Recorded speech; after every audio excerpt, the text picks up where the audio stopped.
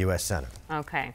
All right. Well, um, I'm sure we've got a group that may have a little bit of insight on that. We're going to head over to Bram Resnick and our political insiders and see what they're talking about right now. Hey, guys. Yeah, I want to talk about President Trump and the U.S. Senate race here in Arizona. President Trump was out here two weeks ago.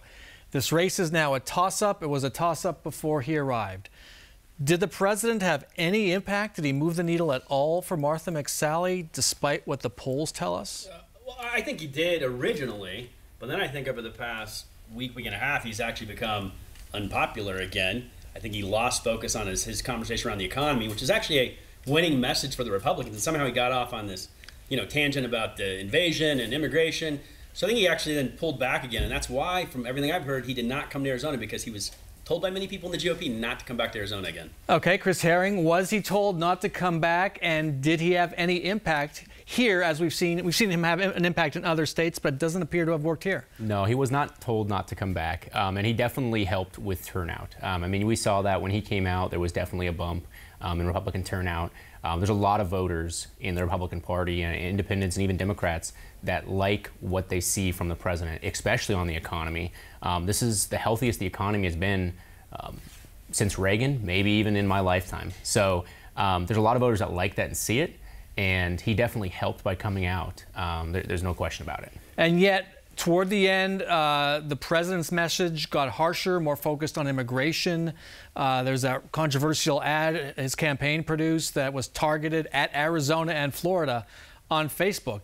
Did that hurt at all with Republican voters or independents in this Senate race? It, it, it might have affected some independents, but you know, you have to look at how firm these voters were to begin with. Were they on the fence already and they weren't sure where they were going?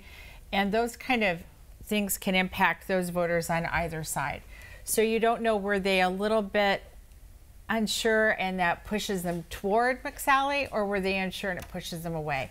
The one thing, something like the president's visit does, is it really, really does mobilize the, the base. It energizes them.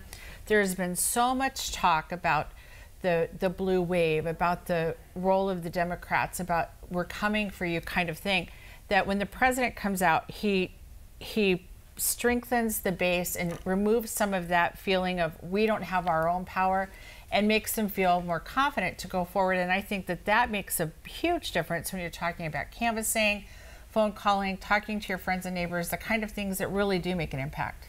Now, I wonder if that also energizes the Democratic base when you see the president sending troops to the border in these final weeks, airing that ad, mm -hmm. you know, broadcasting that ad. Does it have the you know, also an effect that gets the Democratic base out. I mean, I would say that we've been mobilizing. Those types of ads are not any kind of surprise. I mean, did you see what he ran on as president? Like, it's fear tactics. That is what they are using to mobilize their base. But in reality, we need candidates who run on courage and who run on hope and things that people actually need, not fear mongering like we're seeing.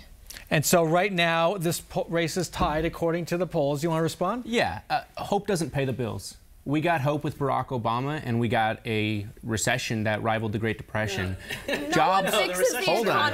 Jobs paid years. the bills. It was so it was so bad under Barack Obama that even nonpartisan observers said, "Man, the economy's never going to break three percent GDP."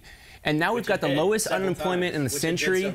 We, and now we've got the lowest unemployment in the century. We've got an economy that is humming. We've got new trade deals. We've got NAFTA renegotiated. We've got the Pacific trade reopened. We've got countries coming back to the table who we were being told they were going to stomp the U.S. economy for decades to come. This has been a phenomenal job, and you don't run a country on hope and change. You run a country on a strong economy, a strong and national defense, and strong and trade deals. People. Really and attacking people. Let's, let's, let's, let's backtrack here. George Bush left this country in shambles. Okay, let's Bra talk let me about finish. He finished. Okay. Finish. No, no, he started. let me finish. Let's go back let to Carter. Okay, what's this? What you want statute of limitations here? Let let's let's. Yeah. Chad, Barack Obama turned say. the economy around. It grew. It didn't grow as fast as it's growing right now because he came out of a recession, the biggest recession that was ever seen in this country since the Great Depression. He turned it around. Talking about GDP, saying it never hit three percent is not true. He he turned this economy around. There's no doubt about that. There's no way you can argue against that fact. And quite frankly not much has been done by Donald Trump. He hasn't done much legislatively. He's actually enacted tariffs. They're actually hurting a lot of industries now, including farmers throughout the Midwest and steel. There's a lot of things that are about to come down the pike here. We're riding the economy that was built in the last couple of years of Obama. So let's just clarify. You're, you're saying the same thing you've been saying for that. two years. It's about to drop. The sho other shoe's about to drop. The economy's about to tank. I'm sorry. This is a fantastic economy. It's great for the everyday that. American. I don't You disagree know, on that. That's I let's, disagree let's talk about Let's where we are right now. here, okay. Let's talk about where we are right now because we could go back and, and litigate past presidents over 200 years. But where we are right now is an economy that is booming. That we are hitting 4%, wages are up, unemployment is at record lows, things are better. That is hope. That does give hope but you have to talk sometimes about the things that are wrong that do need to change. And villainizing people goes both ways. You can say he's villainizing people but then you villainize the people who support him and that Why would you support someone who villainizes other people who are brown? so much that doesn't make it. sense. Oh, it's so it's so not that. It's so not that. And if you want to put that into that category, and if you want to take everything and make it about race, Well, I mean, you I'm a can do DACA, I'm a DACA You recipient, can and he that, attacked but me. I don't think that's so, what we need to talk I want, about. okay, let's but have I do think that last word what we from need to talk about. Let's I be do. fair. He, he Let- put a deal on the table for DACA, and the Democrats didn't even want to sniff it. Martha McSally put something on the used table that it. would have He used fixed it DACA as a the hard Let's let Belén, Belén have the last word. Go ahead. No, he did not use anything to help us. If anything, he put Jeff Sessions on a podium to end the program because he couldn't do it himself because his base was pushing him to do it.